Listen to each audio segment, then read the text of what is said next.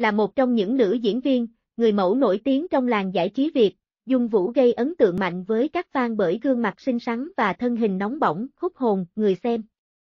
Đặc biệt, với cộng đồng game thủ, cô nàng không chỉ xinh đẹp, quyến rũ mà còn có tài chơi game chẳng kém cạnh ai. Mới đây, thánh nữ làng game đã quay trở lại luyện tập với bộ môn hoàn toàn mới khiến các fan vô cùng bất ngờ. Dung Vũ ghi điểm trong mắt các game thủ bởi tài chơi Dota 2 vô cùng đáng nể. Trên trang Instagram cá nhân, Dung Vũ đã đăng tải bức ảnh cô nàng đang bắt đầu tập chơi tự game Liên quân Mobile. Dù mới chỉ tập được một thời gian ngắn, nhưng Dung Vũ đã thể hiện rõ sự chi hát để làm quen với tự game mới. Thậm chí, cô còn khoe khéo tài chơi vị tướng Liliana với tỷ lệ thắng cao ngất ngưỡng 72,3% sau 47 trận.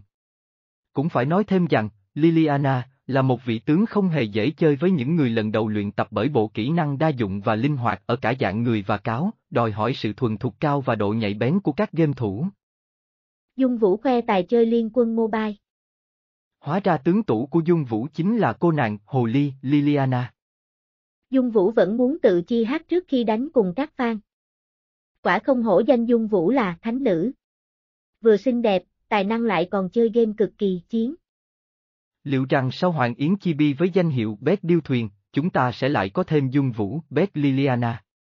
Cùng nhau đón chờ ngày Dung Vũ lên sóng trở lại và giao lưu với các fan của tựa game Liên quân Mobile nhé.